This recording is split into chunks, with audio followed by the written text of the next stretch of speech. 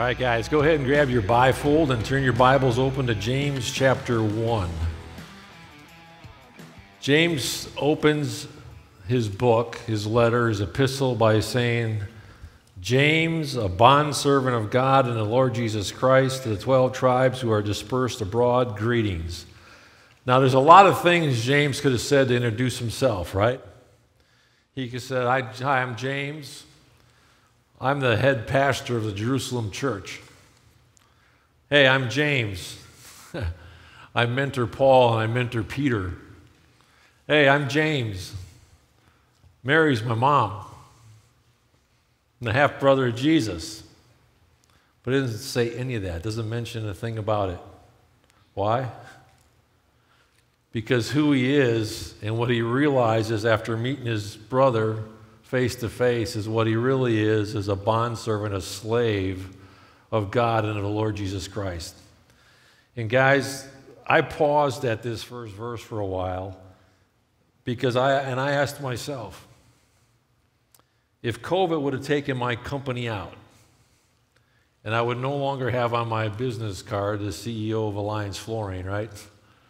Would that have changed who I am? If it was my wife who passed instead of her best friend Pam, would that have changed who I am? If I lose my family somehow in a tragic accident, would that change who I am? All those things would, would be horrible, obviously. But what James takes us to is what the film just underscored. Who are you? Who are you? What James says, I'll tell you who I am. I'm a follower of Christ. I'm his slave, I'm his bondservant. God's number one in my life. Greetings. We tend to measure ourselves and introduce ourselves and even want to know something about somebody else by what they do for a living, right? What, is what do you do? my wife would come back, hey, meet somebody new in the subdivision. What does that guy do? As if that defines him, right? We're not defined by what we do. We're not defined by what we own. We're not defined by,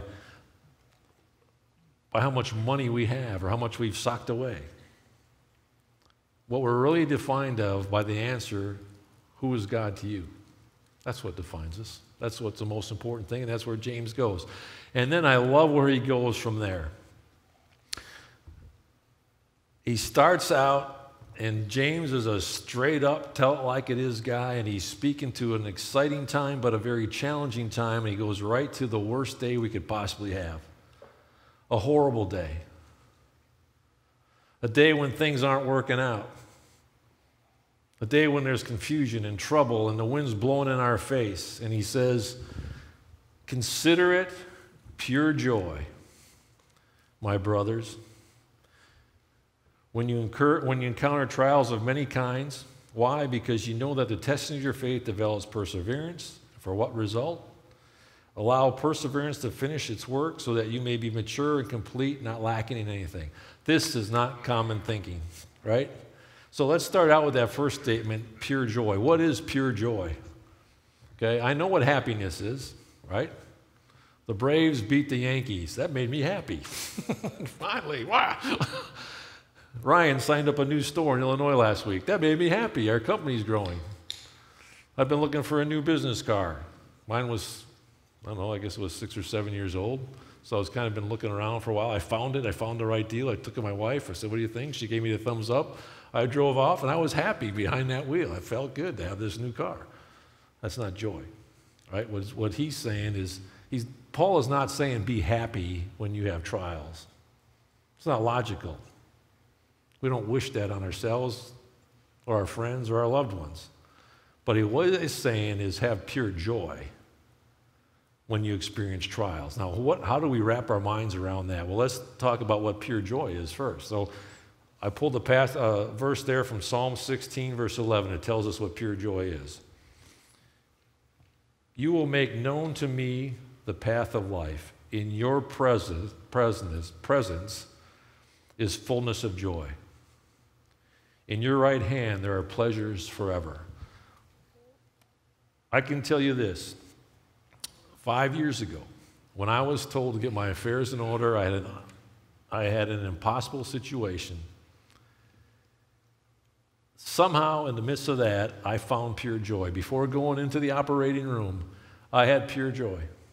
And the reason I did is because after Ryan came over and we listened to Oceans together and bawled like babies, and I got quiet before God, and I had a lot of guys who are in this room praying over me, I had total peace because I was in the presence of the Lord and I knew whatever was going to happen was His. And it was a joy and a blanket that I can't even explain to you.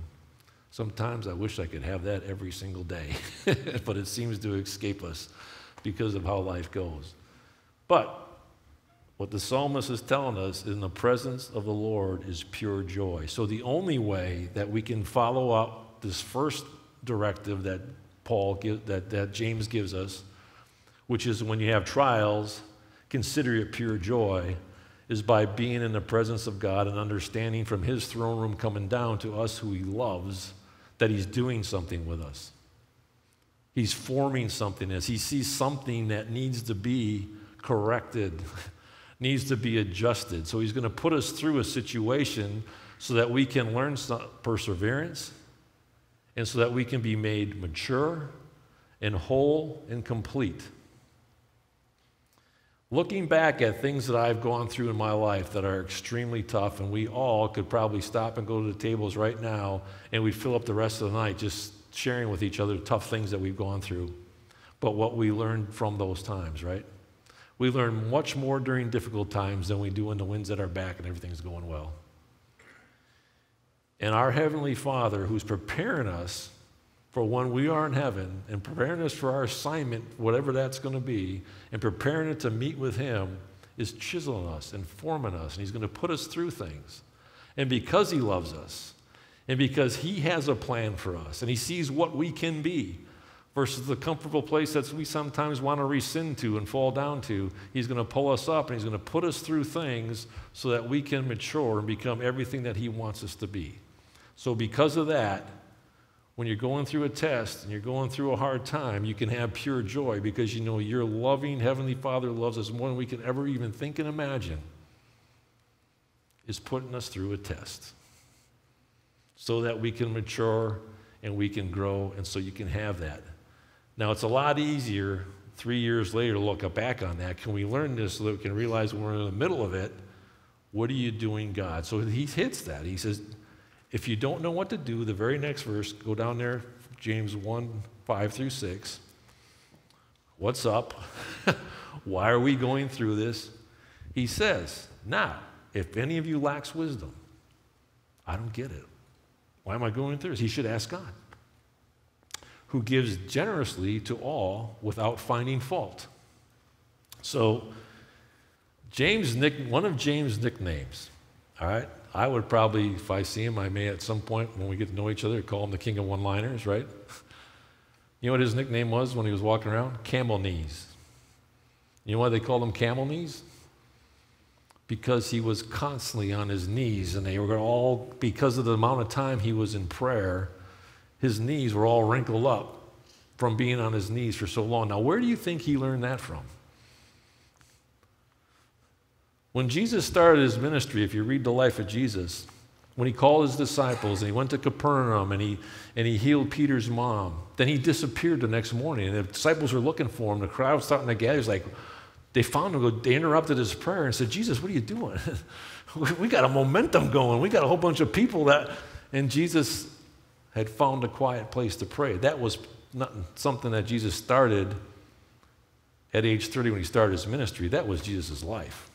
From 12 years old on, at least, Jesus made prayer a part of his life, and James knew that about his brother. And after he met his brother and he got changed, he mimicked his big brother. And so, one of the things he tells us right out of the gate if you lack wisdom, ask God, who gives generously to all without finding fault and it will be given to him. Let me ask you something. Do you have a bench?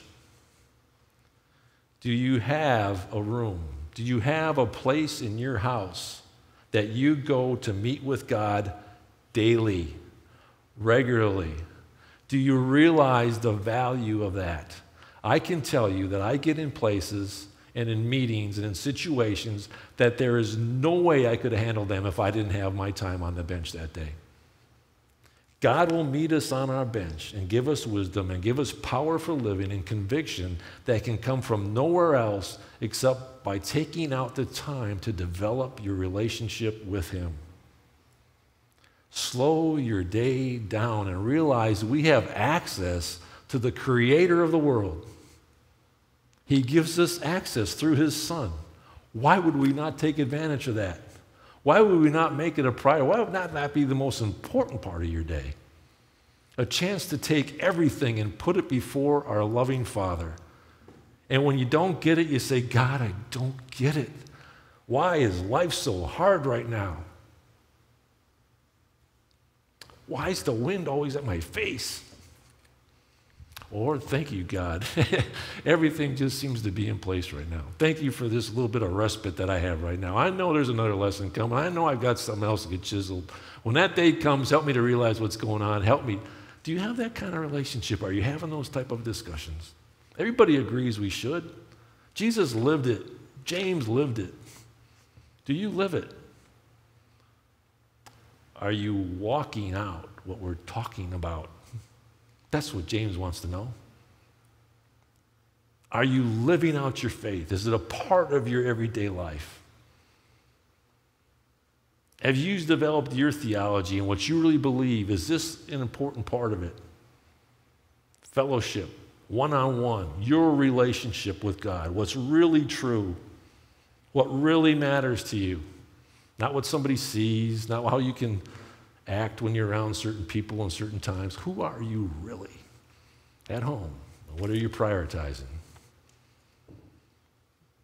I can actually watch Fox News if I've been on the bench that day. If I don't, I want to know what's going on in the world. it's so crazy I can't watch it, right? I know who's on the throne. If you ask, it'll be given to you, but we, he must ask in faith without doubting, because he who doubts is like a wave of the sea blown and tossed by the wind. You ever feel that way? What James is talking about is the principle of slingshot. Everybody knows what a slingshot's for, right? If I want to take something and I want to pinpoint it against that back door, give me a slingshot, give me a rock. I can take it and stretch it back, and I can launch it where it wants to be. What I propose to you is that our launch is in our stretch. God knows where He wants to send you, God knows what He has planned for you. In order for you to get there, He's going to have to stretch you. He's going to have to take us through a time when we get stretched so that He can launch us to where He wants to go. So, what we want to do is number one, realize that that's a fact. And realize that what we're going through is part of that reason because God is on the throne and He has actually He loves us enough and knows us enough and has an individual plan for us that He will take the time to put us through things to stretch us so that, so that we can be launched. And then James goes on and saying, Oh, yeah, and by the way, when you get stretched, the tendency is going to be to say, All right, I'm being stretched, but that's okay because I got this over here, or I got this over here I can fall back on. I can go to my comfort. I can do whatever I've created in my life to have a comfortable life here, that I can ignore that for a period of time and just concentrate on this over here, distract myself, whether it's sports or whether it's my second home or my luxury or whatever it is that I do to get myself off of that and forget that and just come over here. No, no, no, no, no, no, no. You're going to come back to it. If you work your way around what God's trying to get you through, I, am telling you, I went through some things four times because I didn't catch it. I can figure out how to get around the wall. I can distract myself from that, forget that. God's going to bring me right back to it because I didn't learn it. We put too much pain on ourselves. Ask God for wisdom. Find out what it is you're going to learn it the first time. Don't flunk third grade, right? Let's learn what we have to learn. Be deliberate about our relationship and what it is that God's trying to teach us. For the sun rises with a scorching wind and withers the grass, and its flowers fall off, and beauty appearance is destroyed. So too the rich man in the midst of the pursuits will fade away. What we have to realize is all this stuff that we distract ourselves to, like that's going to be gone. just like your grass. It's not watered. Here and gone just like that. Everything that we have, there's nothing wrong. James nowhere says there's anything wrong with riches. What he says is don't take comfort in them and just realize it's temporary. What's more important is who are you? How do you answer that question? Who am I? How are you growing with him? All right, let's go to the next one. Here's the great promise that he gives us Blessed is the man who perseveres under trial, because when he has stood the test, he will receive the crown of life that God has promised to those who love him. What he's doing is he's moving us toward eternity. We're living here for a short period of time. Eternity is forever. What we do here plays into what happens there.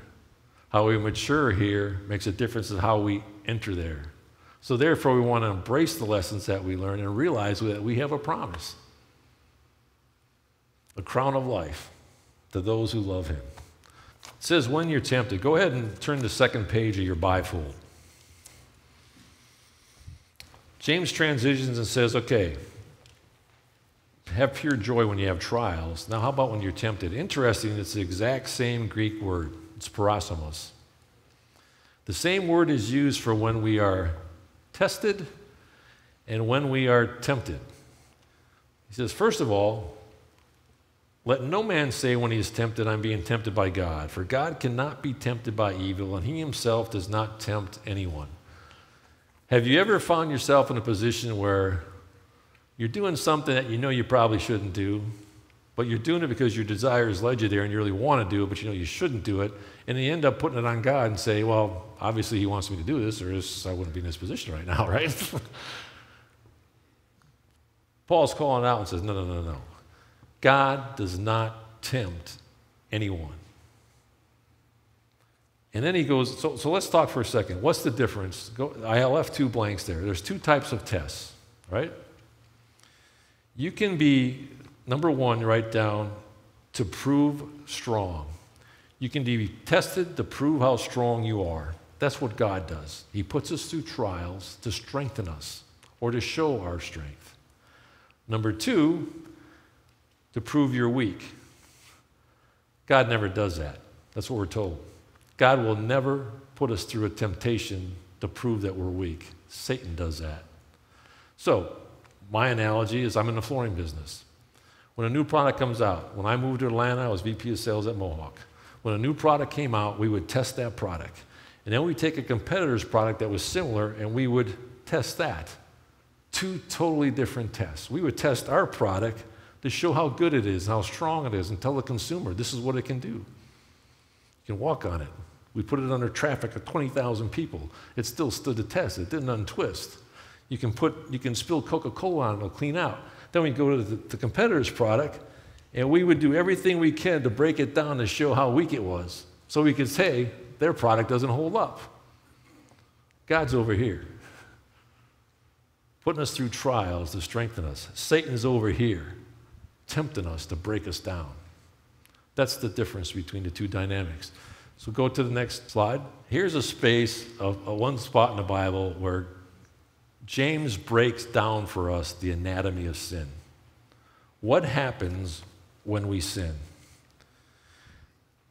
It's on the second page, James 1 14 through 15. Each of you, each one of you is tempted by his own evil desires. It starts with something that we want. He is lured away and enticed. And then, after desire has conceived, it gives birth to sin. And sin, when it is full grown, brings him to death. Guys, when, we're, when we find ourselves on the wrong side of what we should be doing, what we need to realize, as James breaks down for us, it starts with our desire. That's a checkpoint for us. And then that desire, when it's conceived, when we do something with it, it develops into sin. And then when we continue with it, when sin has become full grown, it'll overtake us and it'll kill us. And he uses a fishing term, right? He talks about being lured and being enticed. So let's, for a second, consider a fish. Let's consider a bass. Here's the fish, Right now, his desires are starting to grow, right? It's feeding time. He's hungry. He wants something. The fisherman comes along and says, All right, I can develop one of any number of things that could lure that fish so that he gets onto my bait, right? And so let's go fishing. Let's study what time the fishes are hungry. My grandson used to go over to our house and fish. He would go online and figure out, oh, okay, the fish and feeding time is between six and seven in the morning. I'll be there at 5:45. Let's go fishing, right? Or no, tomorrow is not until nine o'clock. Somehow people have figured this out. There's books on it, right? Best bass fishing lures and how to catch fish. And how to, let me ask you something. Do you think the enemy of our soul doesn't know us well enough to develop the lure that's going to catch you? Which one of those things he can catch you with? You think a book hasn't been written by Satan and the demons throughout mankind's history because a lot of this stuff repeats itself? And what happens? So, what's next? The fish is caught. What's the next thing that happened? Fish is sliced down the middle, deboned, fried, and eaten. What do you think Satan wants to do to us? He's out to slice us, dice us, kill us. We're told he's out to rob, kill, and destroy everything that we're about. Here's what I've noticed in life. When does this come? God's over here testing us for strength. We're being stretched.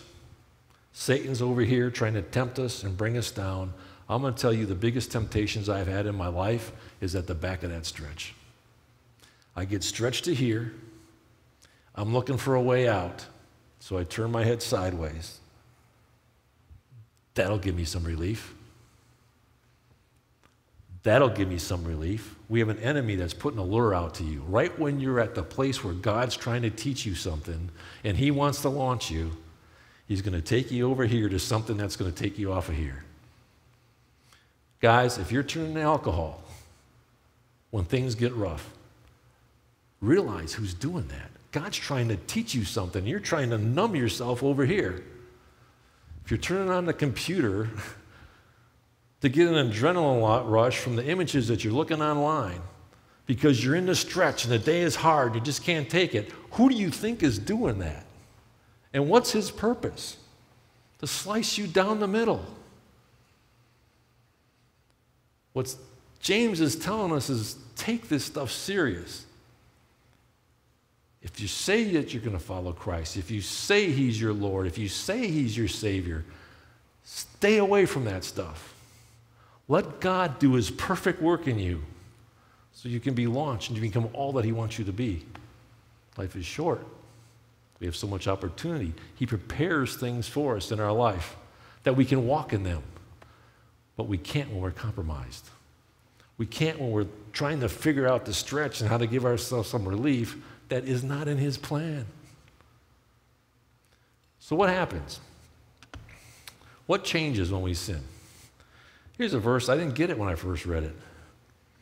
Do not be deceived, my beloved brothers. Every good and perfect gift is from above, coming down from the Father of heavenly lights, with whom there is no change or shifting shadow. What does that mean? It's dark outside. It wasn't when we got here, it was light outside. What changed? The sun didn't move, we did. The earth is turning on its axis. What James is telling us if you find yourself in darkness, realize this God didn't move, you did. You moved away. God has no shifting shadow. If you moved, it's because if you're in darkness, because you moved away from Him. So, what do you do at that point? Confess your sin. He's faithful and just to forgive you and to cleanse you from all your unrighteousness. Don't mess it up. Don't compromise. Be a man who wants to live life to glorify our Heavenly Father. The most glorifying thing that James could have said in the first verse was, I'm a bondservant of God. That's who I am. I'm not here to tell you anything about me, anything that's great about me. I'm here to tell you I have a God who's worthy for me to be his slave. I want to bring glory to Him with my life. All right. I love, um, those of you who know me know that I love Far Side, right? So here's a guy, the smallest head in the room, right? He says, Mr. Osborne, may I be excused? My brain is full.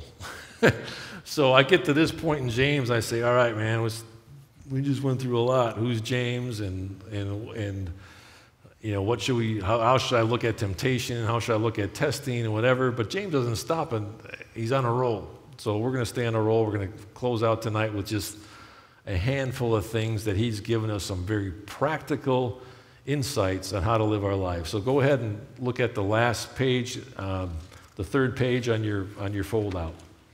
James 1 19 through 20. My beloved brothers, understand this. Everyone should be quick to listen, slow to speak, slow to anger, for man's anger does not bring about the righteousness that God desires. How many of us do the opposite? Right? Slow to listen, quick to speak, quick to anger. That's how most guys operate. Do you? Or are you quick to listen, slow to speak, slow to anger? Because that will bring about the righteousness of God. That's what James is saying. You want your religion, your relationship to Him to be useful, be slow to speak, be quick to listen, be slow to anger. Verse 21, somehow I neglected to put it on the sheet. Let me read it to you. It says, Therefore, putting aside all filthiness and all that remains of wickedness, in humility receive the word implanted, which is able to save your soul. Put aside filthiness. When I say that, does anything in your life come to mind? Put aside filthiness. Does anything come to mind? If it does, let me encourage you before your head hits the pillow tonight, take that to God.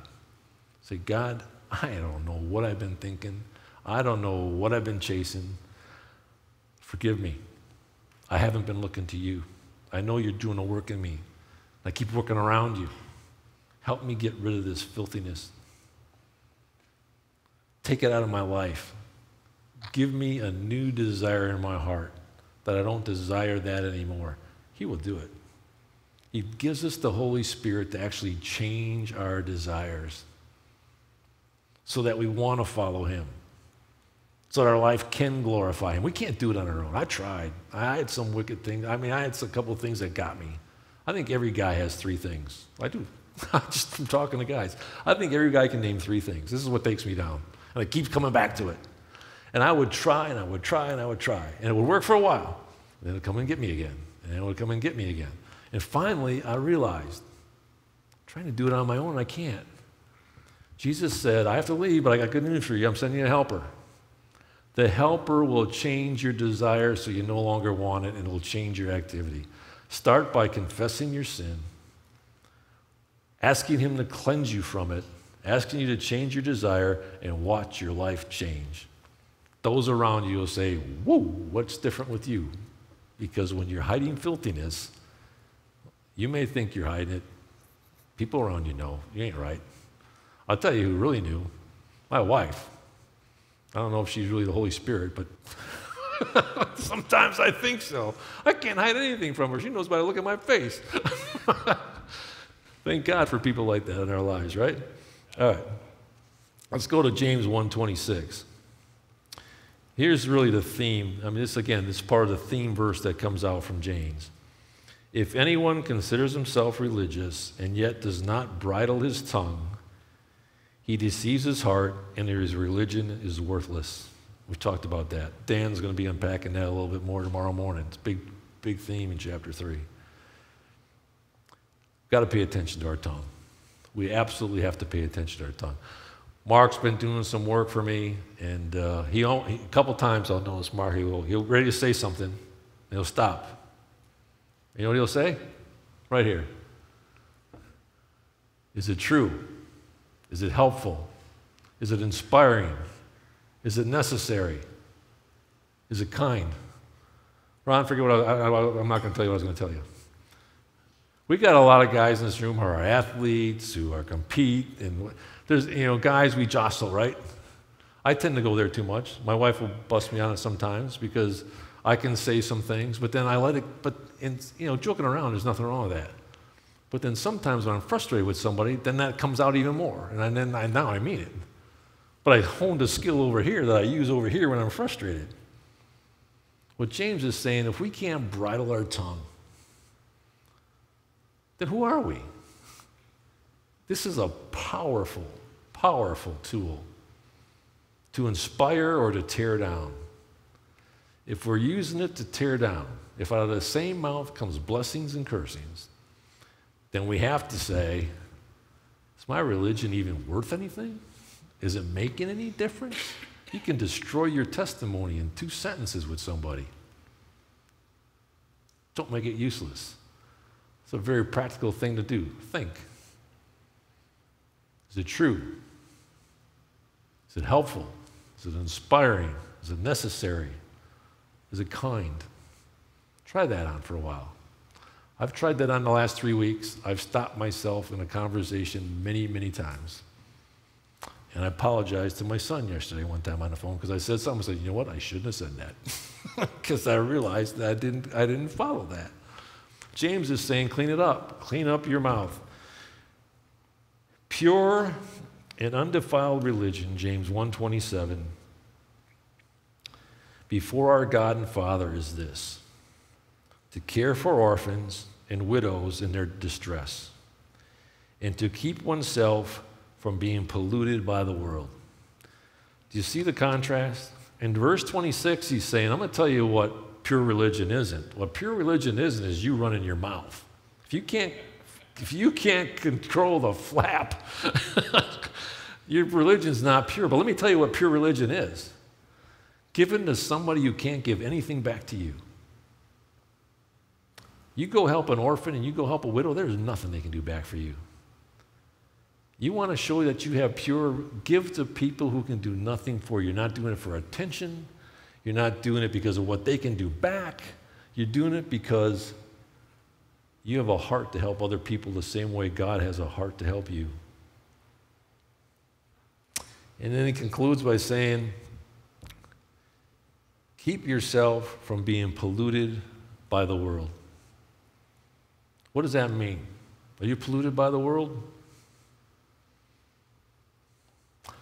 As I chewed on that, I asked myself, what am I in love with here? That maybe is a little bit out of whack. That maybe has me a little bit polluted. God says we love the world. The love of the Father is not in us.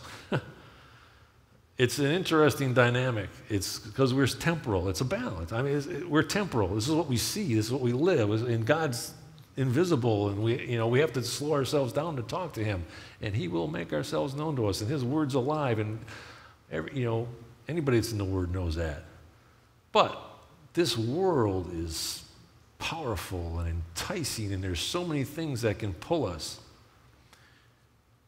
james is calling us to ask ourselves have we in any way allowed ourselves to be polluted by this world where something here is more important than our relationship with him Something here might be more important than what He's called us to do and how He's called us to live. Don't allow yourself to get there. That's what James is telling us in one of his directives, right? As he keeps hitting us with directive after directive after directive. We started out by showing a film of who you are.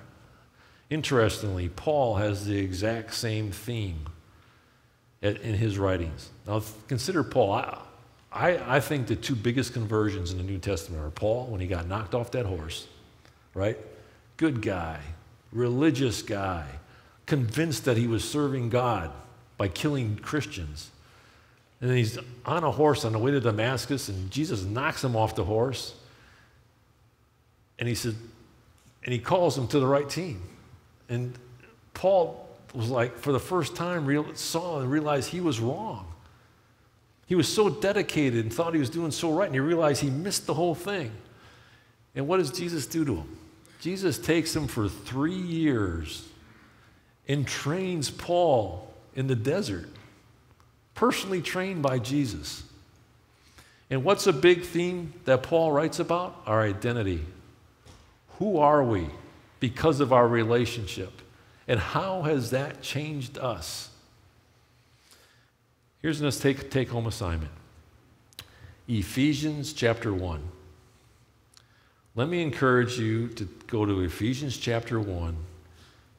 Spend some time on your bench. Start out by underlining everything that it says in Ephesians chapter 1 about who we are in Him. What is our new identity because of our relationship with Him? And then ask yourself, do you see yourself that way? Do you realize that this is how God sees you? So the clip we showed from Overcomer, that's part of the theme of that movie. And there's a young lady who she's who is being tutored who went to Ephesians chapter 1. And as a result of that, she comes back to school and she shares who you are. So I'm going to close by showing you that clip.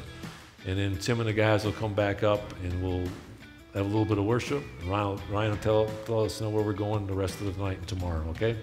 Thank you, guys.